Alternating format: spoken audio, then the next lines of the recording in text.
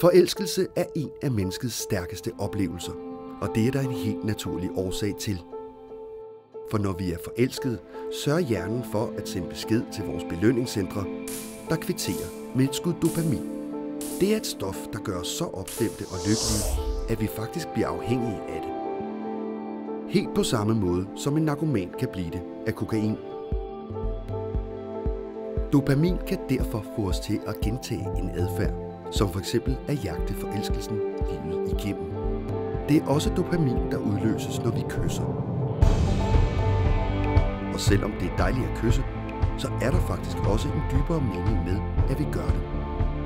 Når vi smager på og lugter til hinanden under et kys, udveksles nemlig en lang række af kemiske signalstoffer, som viser, hvor godt vi passer sammen biologisk set.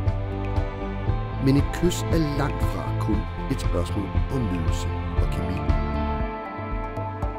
Kroppen er faktisk så smart indrettet, at den i kysset sørger for, at kvinden udsættes for partnerens virussygdomme inden graviditet, da en infektion under graviditeten kan være en risiko for barnet. I løbet af et kys udveksler vi nemlig ikke færre end 80 millioner bakterier, og det er med til at styrke vores immunforsvar og på sigt forebygge sygdomme. Heldigvis er 95% af dem dog ganske harmløse.